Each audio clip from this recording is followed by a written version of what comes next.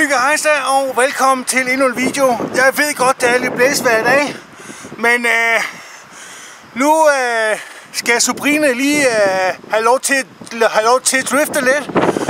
Og så tager jeg lige og sætter noget musik på nu.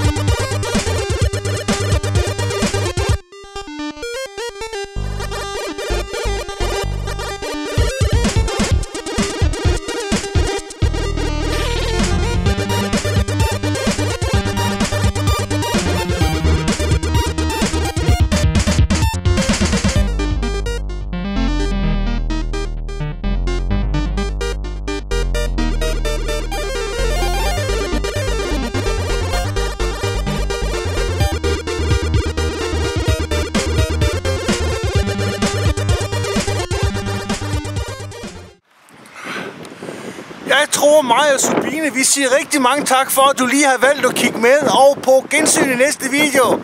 Hej!